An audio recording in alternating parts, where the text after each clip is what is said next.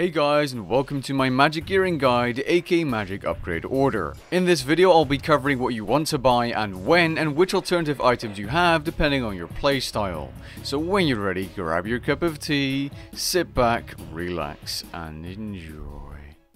This video is geared towards both mid and high level players. As a sort of baseline, I'm going to expect you have at least subjugation armor, an amulet of fury, a tier 75 to tier 80 weapon, so a staff of light, Armadyl battle staff, Virtus book, something of the sort. As for your cape, it doesn't really matter if you don't have the cape that's listed on screen. If you have a kiln cape, that's great. If you're using a lunar cape from the quest, that's also fine. For all I care, you're using a team cape. It doesn't matter that much, but just see this as a sort of baseline because I'm going to be basing basing my upgrade order on that. Now the first thing worth mentioning is if you do have alternative rings or you want to put in some time to get these rings, these are definitely worth it. Being the 6th Age Circuit, the Ring of Vigor and the Asylum Surgeon's Ring. One definitely worth getting if you want to get good DPS is the Ring of Vigor simply because you're going to be using it as a switch for your 100% abilities, for example when you sunshine in a regular DPS rotation.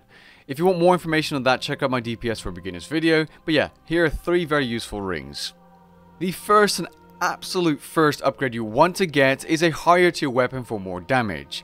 As a sort of rule of thumb, always upgrade your weapons over your armor it's going to be so much more effective. The Obliteration Staff is an option for around 53 million GP, which is about one third of the price of a Noxious Staff, or alternatively you could buy a Wand of the Cywir Elders and the Orb of the Cywir Elders. Then after that, the next upgrade is obviously going to be a Noxious Staff, which will set you back around 147 million GP. The next thing you'd like to get is probably a Mazcab ability codex for the Corruption Blast ability. Now the price of this item, to unlock it I mean, changes over time. I think currently it's around 33 million GP. It used to be 15. Anyways, this is by far one of the best abilities you can buy. It works great for single target use. It's incredibly powerful, but it's also super good for Slayer and killing minions of all kinds because it's a corrupting bleed ability meaning it will spread onto another enemy and another enemy and bleed them for damage as well. It's absolutely insane. Definitely worth getting but if it's a little too expensive for you you might want to consider waiting. This is the only problem I have with these videos. Over time prices change so I guess I'll leave it up to you but objectively this is the best thing you can buy at this point in time.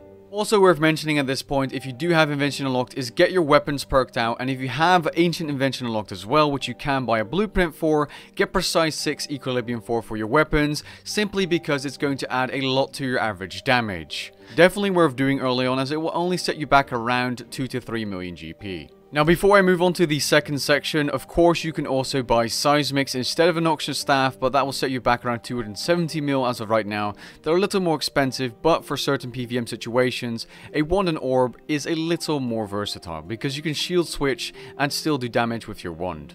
So our new starting point looks like this, and we're going to upgrade our armor first, getting Virtus armor which is currently around 76 million GP.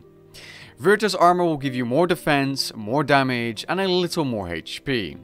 This will be very useful for various PVM scenarios, and Virtus armor will do until the final part of your upgrades. There's no reason to get better armor than Virtus being Tectonic or Elite Tectonic until you have pretty much everything you need magic wise. Now the next upgrade is a little expensive right now but I would still recommend getting it as it's super good for all combat styles. It's the Amulet of Souls. This amulet increases your protection prayer effectiveness by 10% leading up to a total 60% damage reduction with protection prayers and it has a 50% chance to make soul split heal around 25 to 50% more. Again, a friendly reminder to perk out your armor. If you don't do this, you're going to be missing out on a lot of useful benefits. If you have Invention unlocked, get something like Crackling 4, Relentless 3, or Biting Tune 3 on your body, and for your legs, Impatient 4 and Enhanced Devoted 3 or 4. Of course, there are more expensive perk setups and different perk setups. Just get some perks on your armor and you should be good to go. Definitely worth your money.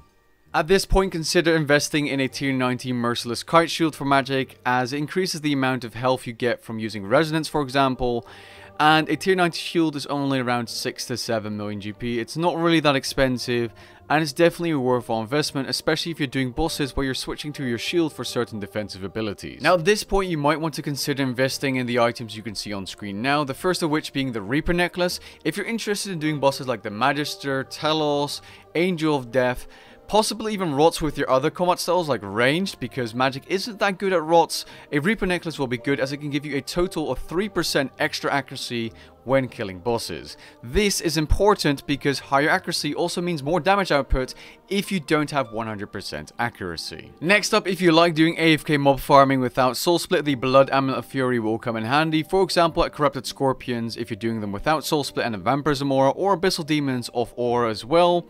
If you don't want to keep sipping prayer potions for your soul split, it's definitely a worthwhile option. Now the third option is almost something I would just recommend getting right now. Blast Diffusion boots are around 20 million GP right now and they used to be 90 mil.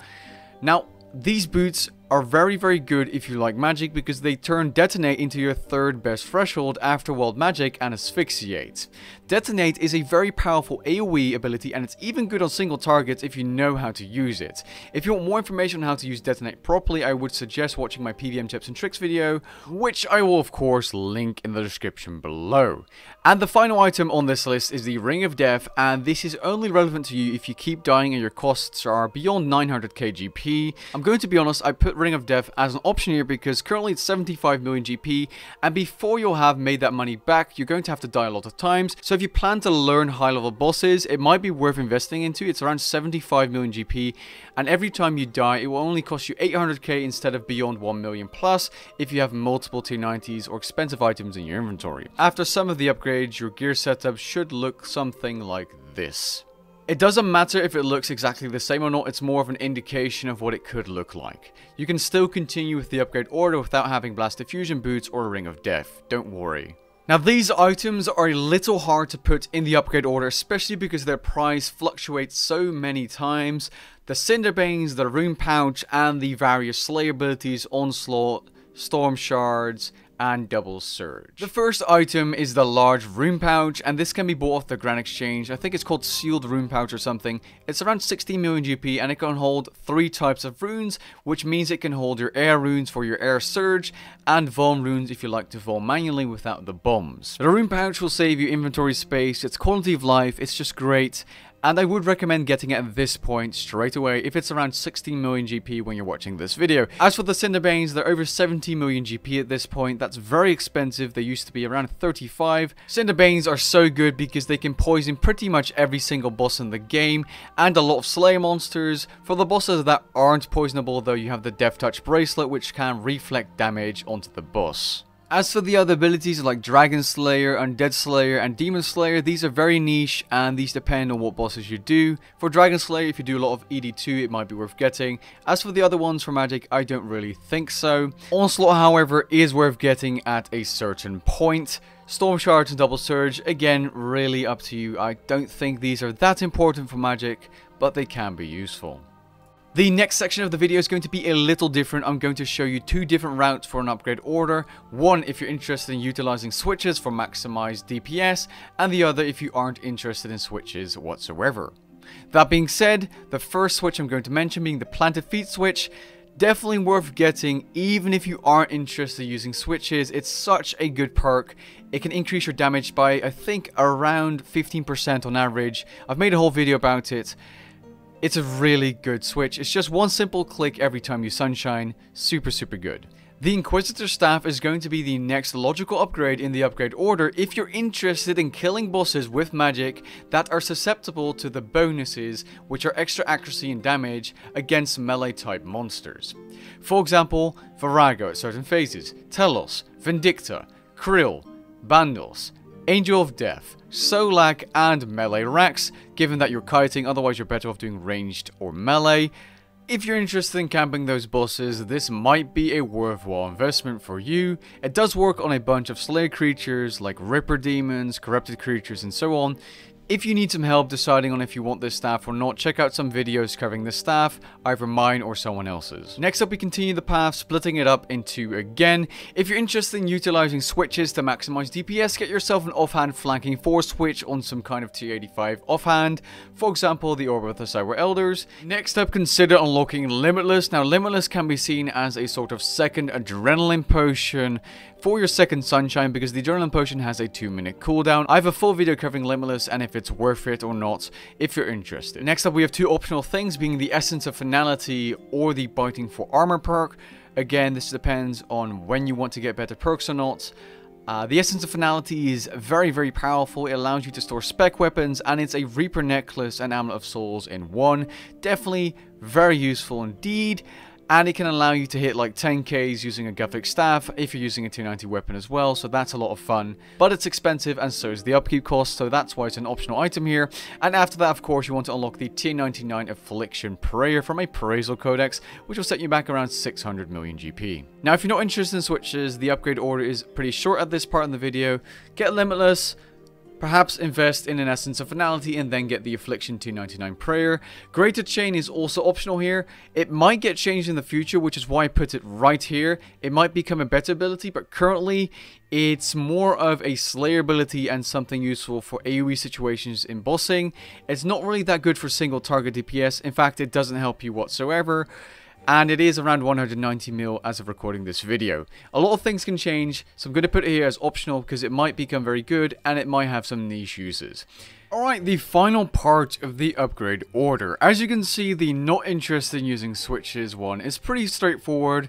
Get your 292 dual wield weapons, then finally upgrade to Tectonic Armor, of course perk it out with the best perks you can get, then get Elite Tectonic, and finally the Staff of Sliske will be your final upgrade for 750 million GP. The switch's path is a little different. You're going to start off by getting the T92 dual wield weapons, being the Praesul Wand and Imperium Core.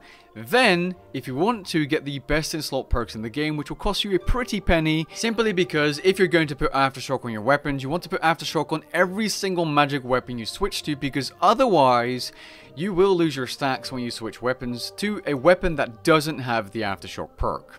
Then after that, you want to upgrade your tier 85 flanking force switch to a tier 90 flanking force switch, which will cost you a seismic singularity around 200 million GP. Then after that, it's time to buy the Seren Godbow and the Ingenuity of the Humans ability. Now, you might be wondering why get a ranged weapon? Well, the spec works with magic, given that you're using the Ingenuity of the Humans ability for that accuracy, and it works very, very well bosses, where the SGB spec can hit hard.